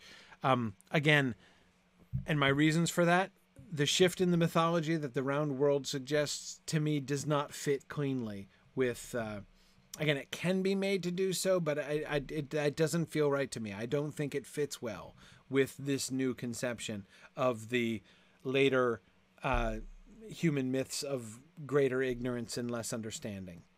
Um, this fits it perfectly, right? If the true story is the Elvish version, right? If Eärendil really went to him on uh, uh, on behalf of the two kindreds, James, as you said, I can totally see how the post Numenorian handed down to humans in Middle Earth version of this story would completely lose sight of the fact that he also was there to plead for elves, right? Um, and that the couple things, right? So in the elvish version of the story, the founding of Numenor, the establishment of Numenor is like a side effect. Right? First you get the War of Wrath, and then you get the deliverance, and the elves are brought over, and also, oh, there are the faithful men, right? And they're like, yeah, we should throw them a bone too. Let's make them an island, right? So it happens as a consequence of Eärendil's, but it's not like that's what Eärendil is asking for, right? Um, here, he's almost like Moses, right? I mean, he's almost on a like let my people go mission here, right? It's not exactly the same. It's not deliverance out of slavery and to the promised land, um, because the land hasn't been promised yet, right? It's it's a it's a catastrophe. It's not the fulfillment of a promise. Um, but still, um, he um, uh, he explicitly goes to uh, get a remedy for their situation, and Numenor is the remedy, right? So, James, you're absolutely right. Um, they um, would never have gotten the gift if Eärendil hadn't sailed, if they hadn't asked for it.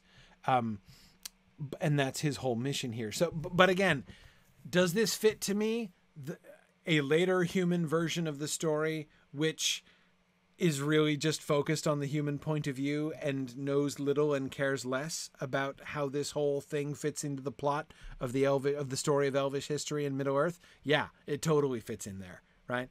Um, uh, to say that basically you look at the fall of Numenor and you look at, uh, or not even the fall of Numenor, you look at the Book of Lost Tales, right? And you look at, uh, especially the Book of Lost Tales, uh, and you look at the drowning of Anadune, and you're like, yeah, okay, obviously Eärendil is the most awesome thing ever, right? Because everybody is claiming him, right? Oh, he's an elf, total elf hero, right? Greatest of all the elf heroes.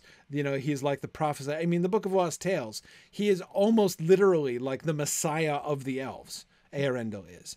I mean, there are prophecies of his birth that sound totally messianic, right? I, I wouldn't say needlessly messianic, but eh, but emphatically messianic. And then and then of course here now he's the great hero of the humans too. The humans are claiming him uh, as well. Um, so uh, anyway, yeah. So I, I, I think that this um, uh, this makes a lot of sense that this would be how they would be distorting the Eärendil story. But um, anyway, okay. So there's Azrubêl. Eärendil. What do you say? What Quenya name? No, no, no, no, no, no. He's got a he's got a Adunaic name, obviously, and so does his ship, Rothinzil. Okay. But the Avaloi, for, so back to the ban, where we started tonight. But the Avaloi forbade them to sail so far westward that the coasts of Anadune could no longer be seen, and the and the Adunai were as yet content, though they did not fully understand the purpose of this ban. But the purpose of Aman, we're told explicitly right away, and notice that it's Aman's perspective and not just vaguely of all of the uh, of all of the elves plus Valar put together.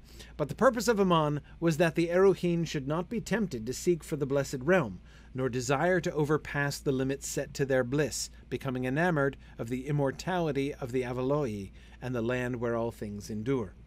For as yet Eru permitted the Avaloi to maintain upon earth some isle or shore of the western lands, men know not where, an abiding place, an earthly memorial of that which might have been, if Mulkhêr had not bent his ways, nor men followed him. And that land the Adunai named Avaloni.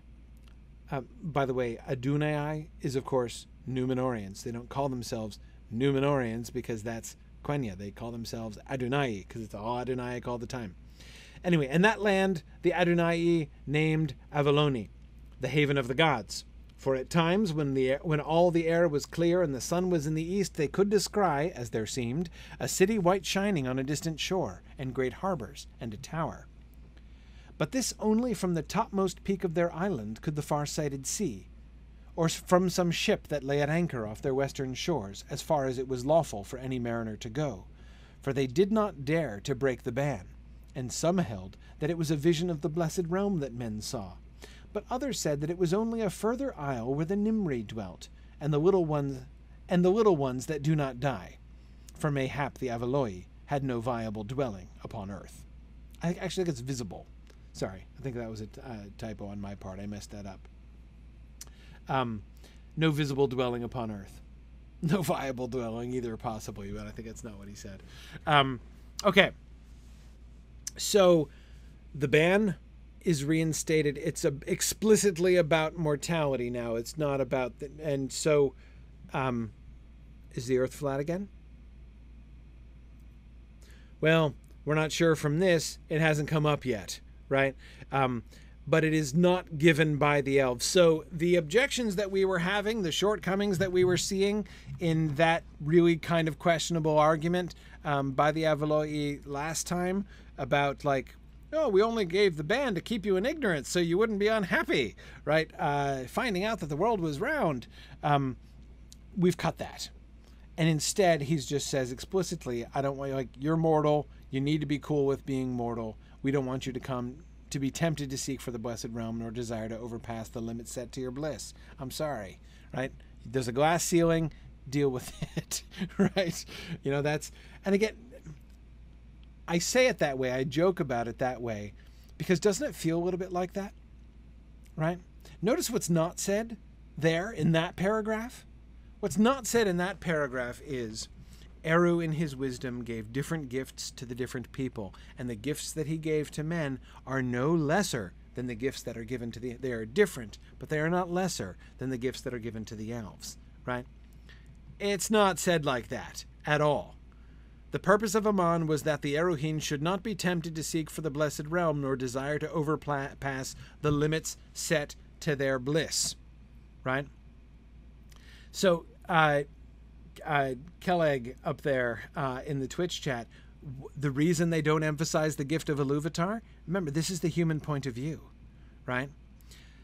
The narrator is, I think, showing his human bias here even showing his like Numenorian bias, or excuse me, his Adunaic bias, right? Because he is characterizing the difference between the elves and the men as you have been given virtually unlimited bliss and we've been given only a tiny bit of bliss. How is that fair? We only get bliss for like a couple centuries, and you get bliss for like untold millennia. We're getting gypped over here at Numenor, right? The Numenorian argument is already there, underlying his description. He's not being objective. Uh, to state about the gifts of Iluvatar and everything, you'd have to be seeing it from the outside. You'd have to be objective. And our myth teller here is not objective. I get the impression our myth teller is trying to be objective, but I think our myth teller is failing to be objective. And that's kind of cool that's kind of fun. Um, okay, let's keep going. Thus it was that the voyages of the Adunai in those days went ever eastward and not west, from the darkness of the north to the heats of the south, and beyond the south to the nether darkness. And the Eruhin came often to the shores of the great lands, and they took pity on the forsaken world of Middle Earth and the princes of the Adunai set foot again upon the western shores in the dark years of men, and none now dared withstand them, for most of the peoples of that age that sat under the shadow were now grown weak and fearful. And coming among them, the sons of the Adunai taught them many things.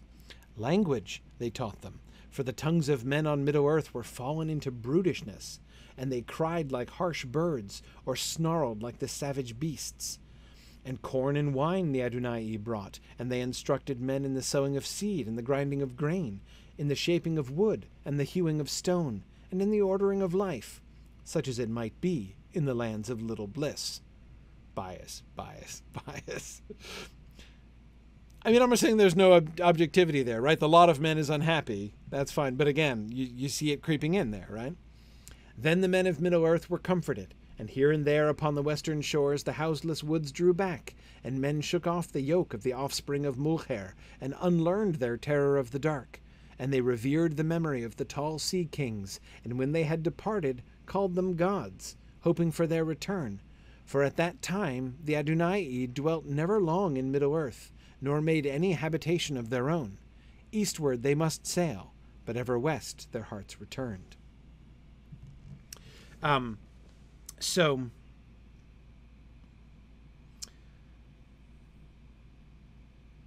those of you who remember the Akalabeth really well will have noticed this passage is almost straight in the Akalabeth. It's kept almost completely in the Akalabeth, with one really interesting difference. Anyone remember the difference? Christopher points it out in his commentaries too. Did anybody was anybody struck by the difference? What's what's here in this version that doesn't get kept in the Akalabeth?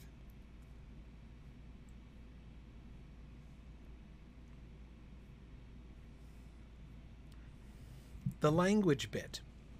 It's the language bit that is not kept in the Akalabeth. Language they taught them, for the tongues of men on Middle Earth were fallen into brutishness, and they cried like harsh birds, or snarled like the savage beasts. This is why Westron is based on Adunaic.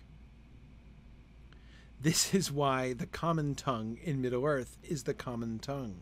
Not because the Numenorians brought their tongue with them from Numenor and then kind of imperialistically spread it across Middle Earth, but because they taught their language to people in their benevolent days.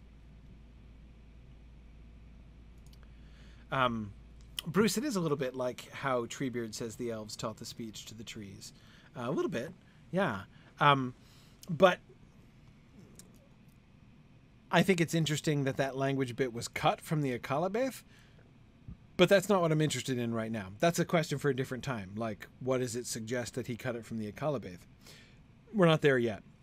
Um, but what is what I what I am thinking about is the fact that it is here. Thinking of the importance, at least what I believe to be the importance of the development of the Adunaic language for this second version of the story, that language uh, and the teaching of language becomes an explicit factor here, right? It becomes the it is the first and primary um, uh, sort of acculturating state, right, or factor. Um, it's better than agriculture. It's better than architecture. It's better than uh, than uh, uh, you know all the other things that they teach them, right? Um, is their language um, because the tongues of men on Middle Earth were fallen into brutishness, and they cried like harsh birds or snarled like the savage beasts. Um, it is Zachary. You're right. Like how Ro, uh, the Rohirrim described the Dun, the Dunlin tongue. Um, no wait. Who is it who says that? It's not in the in in the Battle of Helm's Deep, Gamling is the one who says it is an ancient speech of men. Right? They speak in the Dunlendish tongue. It is an ancient speech of men, and he translates it. Uh, somebody else says to him first that the sound of the Dunlendings to them is just like the the harsh crying of beasts. Um,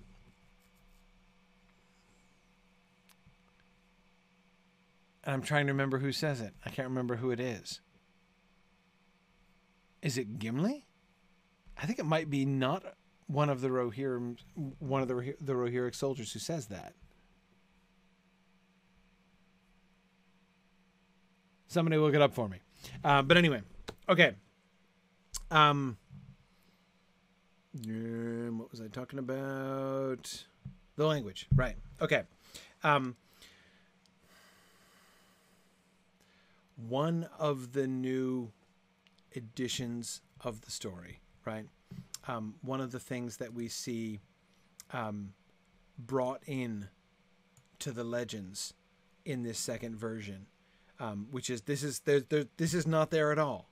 This is not there at all in the new um, uh, in the first version of the drowning of Anadune. Um, what we see is the way in which they bless Middle Earth, the way that they impact Middle Earth. Remember that um,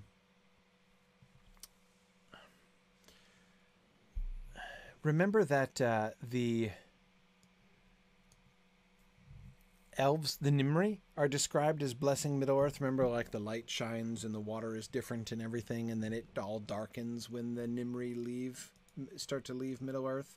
Um, that uh, that same thing is being done here, right, by the Anadune, by the by the Numenorians. Um, and it's interesting that they're being given that role. And it certainly shows, it emphasizes the fall of the Numenorian. So it's not just a completely pro Numenorian approach, right? Um, but I think it is a really, um, it, it is Éomer who says it's the sound of beasts. Thank you, Yona. Appreciate that. Um, yeah, yeah. Um, yeah, exactly. Um, yeah, well, Brandon, this is before the imperialistic age. I mean, the the, the narrator is not going to hide the fact that later on, uh, the Numenorians are going to come only to dominate and enslave the people of Middle Earth. Um, here, they're just teaching and then leaving, right? Um, and when they leave, the the the the you know the people of Middle Earth are their life is improved. Um, um they were comforted, right? Um, men shook off the yoke of the offspring of Mulkhêr and unlearned their terror of the dark. This is all positive stuff, right? Um, uh, so again, I, is there bias? Yes, there's bias, but again, I don't think this is not. It, there's bias, but there isn't just Homerism, right? This is not just like the Numenorians are awesome and they do nothing wrong. Like we know they do stuff wrong, and we're getting there, right? Um, when I talk about bias, I'm talking about bias like seeing the world through the human lens, right? So the bias, especially that I was pointing to before, was in that discussion, which we're going to get, of course, before long, again, a second time, that debate between the elves uh, and the humans. The narrator seems to be seeing things from the human point of view, right? He's not really seeing things objectively and, and, and weighing both the human and the elvish side of that equally. Okay, good, right. It's Éomer who says, They are only the screams of birds and the bellowing of beasts to my ears. Good, excellent. Zachary, great, uh, great call. That's a really interesting, uh, that's a really interesting thing. And notice what this shows, right? He cut that passage out. He cut that passage out uh, of the drowning of Anadune, and he put it in the drawer, right? And then he took it out again. What do you know? Anyway, okay, let's keep going. The doom of the world, they said, one alone can change. So this is this is the debate now, right, between the elves and the Numenorians. When, uh, in the time of Ar-Pharazôn, we're starting to become dis- unquiet, right? The doom of the world, they said, one alone can change. Who made it? And were you so to voyage that, escaping all deceits and snares, you came indeed to the blessed realm, little good would it do to you. For it is not the land of Aman that maketh its people deathless, but the dwellers therein do hallow the land, and there you should rather wither the sooner, as moths in a flame too bright and hot. But Ar-Pharazôn said, And doth not Azrubêl, my father, live?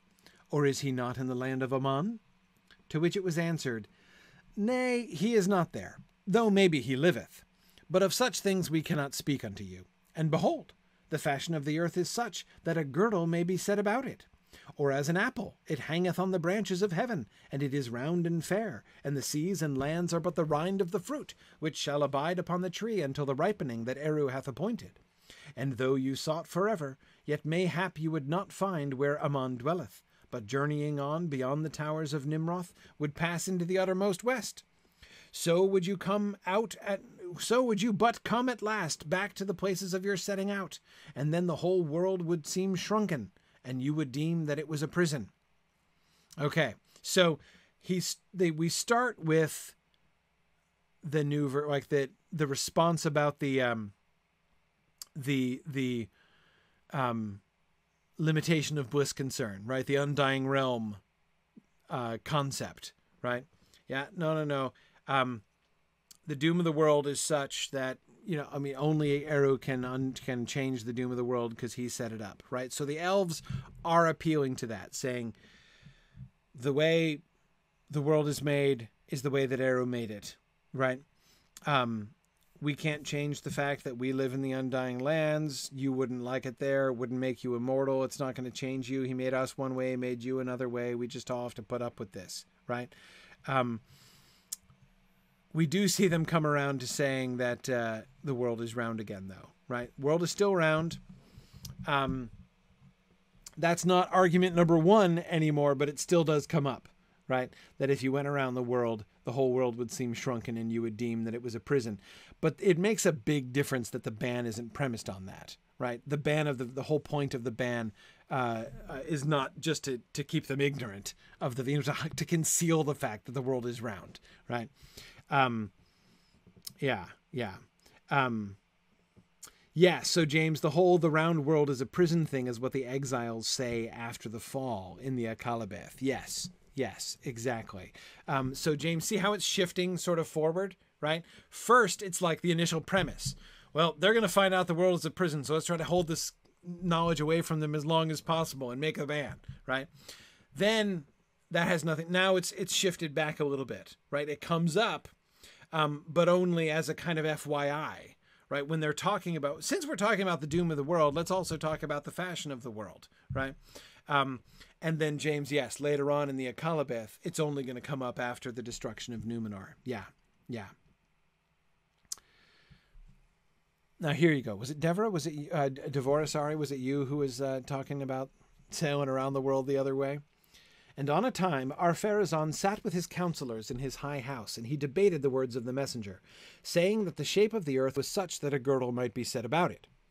For if we shall believe this, he said, that one who goeth west shall return out of the east, then shall it not also be that one who goeth ever east shall come up at last behind the west, and yet break no ban? But Arbazan said, It may be so, yet naught was said of how long the girdle might be The radius of the earth might be huge, dude. And mayhap the width of the world is such that a man would wear the whole of his life if or ever he encompassed it. And I deem it for a truth that we have been set for our health and protection most westward of all mortal men, where the land of those that do not die lies upon the very edge of sight, so that he that would go round about from Anadune must needs traverse well nigh the whole girdle of the earth. And even so it may be that there is no road by sea and it has been said that at that time he guessed aright, and that ere the shape of things was changed, and here again we're talking about the changing of land masses, not about the changing of the of the uh, geomet- the geometric size of the or shape of the world. Eastward of Anadune, the land stretched in truth from the north even unto the uttermost south, where our ice is impassable. So they can't do the end around, because not because you can't because uh, the world isn't round, but because it's not navigable. You got to find the Northwest Passage, right? You you can't do it. Um, you you run into there's no Panama, right? You you go east and you're just going to hit land, right? Middle Earth, the Great Lands stretch all the way from the north to the south. So yeah, no circumnavigating the globe possible. It turns out, right? And I love I love, um, uh, uh, Arbazan uh, his counter argument, right? Um, Arbazan, of course, is Amandil, right? Um, Elendil's dad. Arbazan says, well, we could do that, but that would be really stupid, right? Because we're like right next to Valinor right now, right? So to get there the other way, we have to go all the way around the world and about like 99% of the way around the world, right? And probably we're not going to live to make it to the other side, right? One way and the other. So, uh, yeah, yeah. Anyway, um, uh, I love the fact that they talk about this. And again, it's it's pretty clear that the the roundness of the world is. But notice how he's dealing with the roundness of the world differently here, right? Um, and notice also we don't have the promise of the world's flatness in the same way here, right? Um, uh, nor are they thinking of it as a prison. We're not there yet either. Um, I mean, part of Arbazan's argument is that the world is so vast that maybe it would take more than your entire lifetime to get around to the other side. So conceptually, maybe a prison, but in practice, not actually very prison like.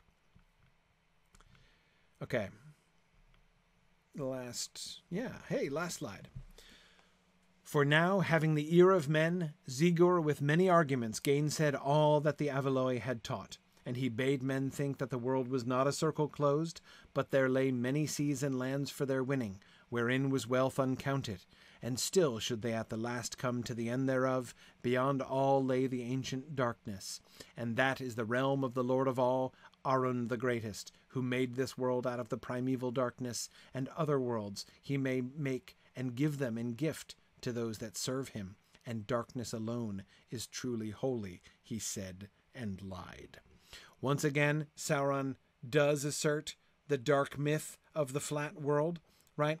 But notice I, I am really interested in the addition that he makes here, right? Um, the way that I read the first one, that is, the world is flat and it's super huge, and there are totally lands for you to conquer still and be richer and more powerful, right? And beyond that is the darkness, which is the source of the world, right? Sounds to me almost like a promise of elevation, of ascension, right? Once you've conquered the world, then you can move into, then you will become worthy and you'll get to the edge and you'll come to the darkness. And that's like where the real stuff is, right? Once you get to the darkness, you will see that the stuff of the world, you know, right, the conquering of the world is this like chump change compared to the darkness, which is the source of all these things. The richness of the world is great, but the richness of the darkness is infinite right, um, is on a completely different level because the richness of the world is derivative of it. That seems to be the message of Sauron, uh, and, and the lord of that richness is uh, is uh, Meleko, right? Now, um, what he promises is exponential, but it's on the same kind of plane, right? Uh, sort of to use the to avail myself of the geometric metaphor. Um, Arun the greatest. When you get to the edge, when you have finished conquering this world, you will confront the ancient darkness. You will come to the edges and you will be face to face with the ancient darkness. And what will happen? Exactly, darkness, the final frontier. Exactly, Matthew. Um, um, once you get to um, the edge, you will encounter Arun, the greatest, and other worlds he yet may make and give them in gift to those that serve him. Right? So once you finish conquering this world, he'll give you other planes to conquer, other worlds, other lands, right? He doesn't seem to be promising them a kind of ascension, right? You will become like gods in the darkness yourself. Um, but you will uh, basically the world is functionally infinite because Arun can keep building new ones and giving them to you, right? If you serve him. Um, so it's in its way, I think, a more. Um, it's a little bit more devious. The lie is much more focused on, and therefore you should really worship. Um, not, I was about to say Meleko. You should really worship Arun, the greatest, right? Um, yeah, so similar, but we can see that developing. All right, um, those are the things I wanted to emphasize about the second version of the Drowning of Anadune. We'll get the notes on the third version, the, the next set of revisions on that, and then we'll look at the uh, the theory of the work, uh, right? Uh, that section afterwards, and then one or two things maybe about the Adunaic language, And that's going to be it. Next week should be our final session on Sauron Defeated. Uh, I know we've kind of stretched out things with the Notion Club papers, but uh, um, but we're almost to the end of the book now. So I look forward to uh, completing this next time, and then we'll get ready for Wizard of Earthsea, our next book. Uh, so. Uh, thanks, and uh, yeah, please do remember if you uh, if you have made a donation, please do send an email to the the email that's on the page right there. Donate at signumu.org in the bottom right hand corner of your screen. Um, uh, that's where you should send your email to get added to the list uh, of uh, for our drawings there. Thank you very much, everybody. I will see you guys next week. Bye now.